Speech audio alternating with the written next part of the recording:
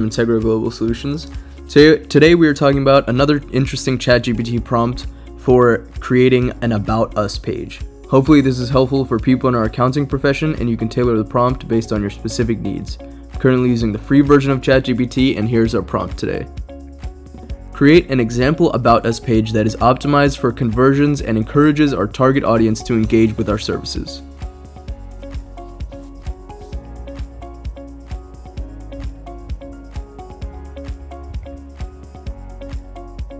And we can do a little bit of a shorter version.